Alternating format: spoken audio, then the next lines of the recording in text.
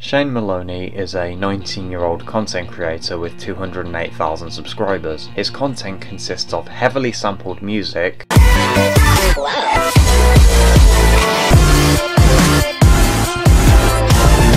can reach out to someone not like me.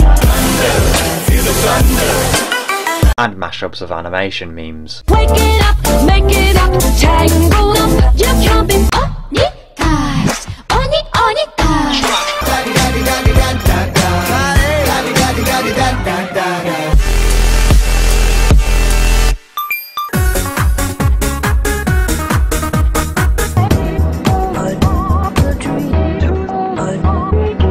Now you may be thinking, why are you talking about this guy? He doesn't sound like he's done anything wrong. Well you see, Shane has been exposed as a groomer, and he was also heavily associated with Popsicle Cat as Shane was Popsicle Cat's cleanup artist. Well, imagine my shock. You know, there are some things that you shouldn't ever do in life if you want to keep your reputation. Being a cleanup artist for this fuckhead, Yeah, uh, that isn't one of the things you should be fucking doing, you cunt! In this DM chat here, he says the following Also, I need to tell you this about me.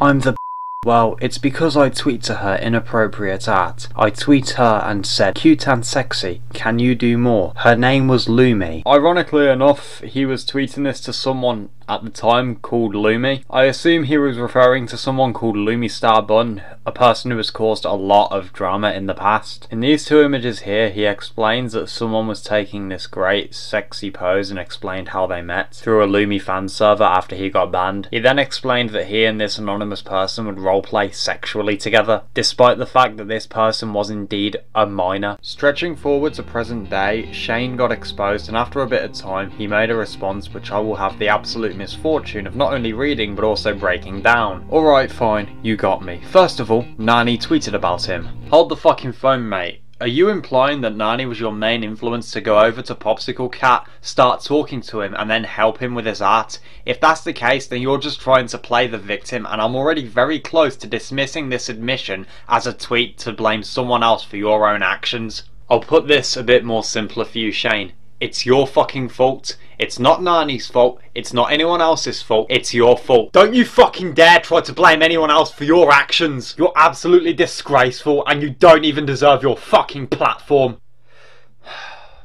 I'm gonna try and salvage what's left of this abysmal as fuck tweet. Maybe there's a redeeming factor in it. I met him on Instagram. Then he sent me with that pic and I clean up his art. Finally, I posted it to my another Instagram account and now I got exposed. I assume when he says his other Instagram account he means this one, although I may be wrong and this may be someone else's account. If the latter is correct then I have no fucking clue why I have this saved as evidence against him. But if the former's correct then honestly I am ashamed in him. He shouldn't be doing this anyway. Look, I know you guys feel disgusted and this is all my fault. I'm extremely messed up everything, but what should I do if I get exposed? Here's my advice. Leave the internet. What you have done is unforgivable in my eyes, and the fact that you tried to blame Nani in your previous tweet only makes me despise you even more. I know that you've came out and admitted to what you've done. I'll give you that, you have bollocks for that. But like I just said earlier, it's unforgivable in my eyes. Leave the internet and either get professional help or submit yourself to the authorities. I know I got a bit serious there, but I honestly feel that it was necessary. I think it's sickening that Shane thinks that he can go out and associate with Popsicle Cat,